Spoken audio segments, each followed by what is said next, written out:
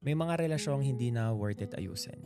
Hindi naman sa hindi ka na marunong magmahal, kundi dahil pinagod ka niya sa paulit-ulit niyang pananakit sa'yo. Alam mo yun, nag-try ka naman eh.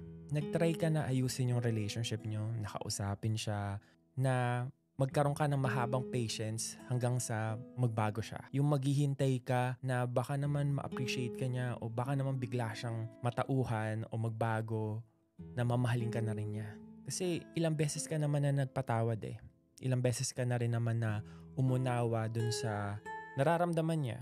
Pero ang tanong dyan, naunawaan rin kaya niya yung nararamdaman mo? Alam ba niya yung pain na dinulot niya sa'yo?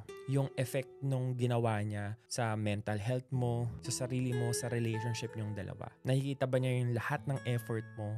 Kung hindi, hindi na talaga worth it ayusin kasi ikaw na lang eh. Ikaw na lang yung lumalaban, ikaw na lang yung umaasa na maayos pang lahat. Pero siya, wala, walang pagbabago.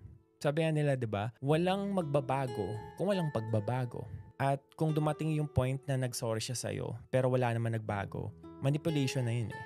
Alam mo, masasayang lahat ng respeto, pagmamahal, lahat ng ginawa mo para sa inyo kung wala siyang pagpapahalaga at wala siyang respeto sa nararamdaman mo.